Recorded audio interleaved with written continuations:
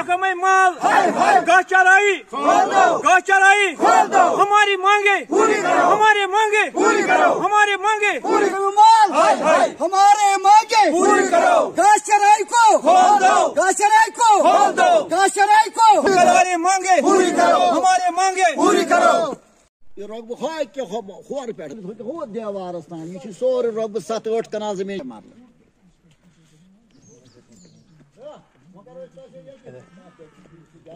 مہربانی کر مہربانی کر یہ جناب، یہ آرڈر ایڈیشنل ڈی سی صاحب گاندربل نے تیرہ مارچ کو دو ہزار بیس کو نکالا ہے۔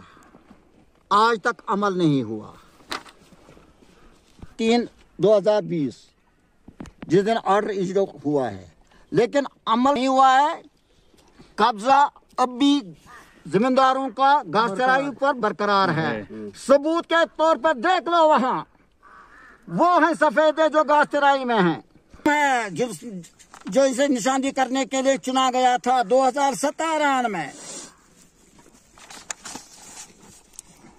یہ دیکھیے یہ ریمائنڈر دیا ہے ایڈیشنل ڈی سی صاحب نے تحصیلدار گاندر لار کے نام۔ اور یہ آرڈر ہے چودہ نو کا۔ آخر کا جو انہوں نے دے دیا ہے ریمائنڈر۔ اور یہ اپلیکیشن گاؤں والوں نے دے دی ہے ڈیو کام صاحب کے پاس، ریونیو ریکارڈ کا۔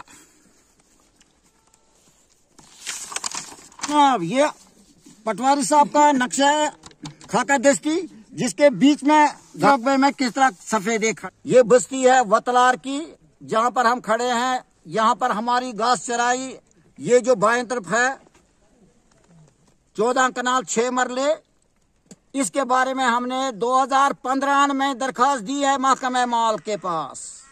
افسوس ہے، آج دو ہزار اکیس ہے، قبضہ نہیں کھلتا۔ محکمہ مال کے افسران صرف رشوت لے لے کے اپنا پیٹ بھرتے ہیں، لیکن گاس چرائی کو ہاتھ نہیں لگاتے۔ فل فور خالی کیا جائے۔ غیر ضروری قبضہ ہٹایا جائے۔ بارے میں ہم نائب تحصیلدار لار کے پاس سینکڑوں بار، تحصیلدار لار کے پاس سینکڑوں بار اور ڈی سی صاحب گاندربل کے پاس بھی وفد کی صورت میں کئی بار گئے اور آخری بار اب ڈیو کام سے بھی ہم نے رجوع کیا ہے کچھ دن پہلے۔ لیکن عمل کچھ ہوتا نہیں۔ یہ افسر یہ محکمے کے لوگ ہی جاتے ہیں۔ کہ وہ عمل کرتے کیوں نہیں؟ یہ ہر کسی کو بھی سمجھ آ سکتی ہے یہ بات کہ معاملہ، معاملے اس کے پیچھے کے، پردے کے پیچھے کیا راز ہے؟ انصاف چاہتے ہیں، انصاف کی کاروائی۔ کران محکمہ مالس کہ مہربانی تو مہربانی کرت اس گوس یہ سڑک یون خالی کرن کیونکہ اس گئی امس زمیندارس نش اکہ لٹہ زاس پندہس مز وفت ہتھ کہ مہربانی تو مہربانی کر سا اس ترا سا سڑکن خاطر زٕ فٹ۔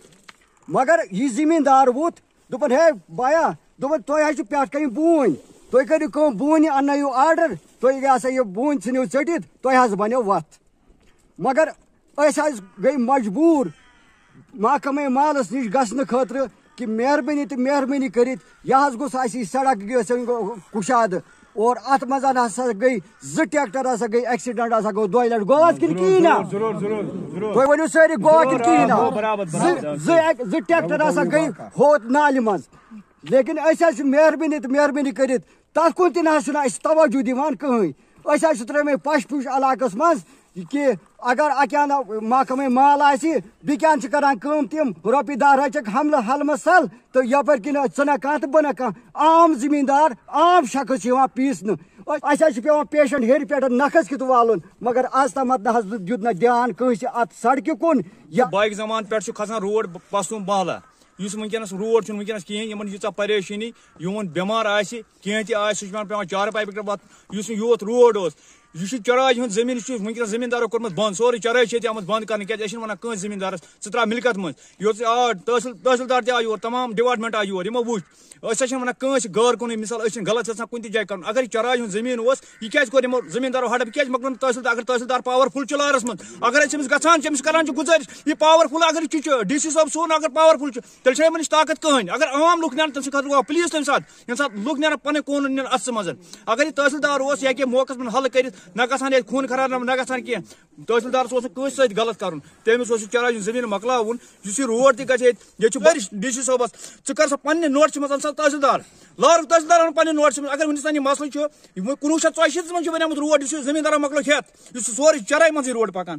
ونِس تام تہِ گوٚو نہٕ کانٛہہ تہِ مسلہٕ حل۔ وۄنۍ اگر أسۍ پننِس قونوٗن نِمو پننِس اتھس منٛز، صُبحس گوٚو سانہِ خٲطرٕ پُلیٖس صُبحس گوٚو سانہِ خٲطرٕ تیٚلہِ چھِ أسۍ مجبوٗر۔ تیٚلہِ چھِ أسۍ صُبحس مجبوٗر۔ اگر نہٕ اَسہِ دۄن ترٛٮ۪ن دۄہن انٛدر انٛدر کاروٲیی کِہیٖنۍ اَسہِ چھُ کرُن، تیٚلہِ کرو کٲم، أسۍ کرو باے پاس کرو بلاک جو بھی لوگ یہ الیگیشنز لگا رہے ہیں یہ بے بنیاد ہے۔ جب میں نے اپنے فیلڈ سٹاف سے متعلقہ نائب صاحبان سے پٹواری سے چیک کیا تو انہوں نے پایا کہ حقیقت میں ادھر کچھ انکروچمنٹ ہوئی ہے کسی آدمی کے دوارا۔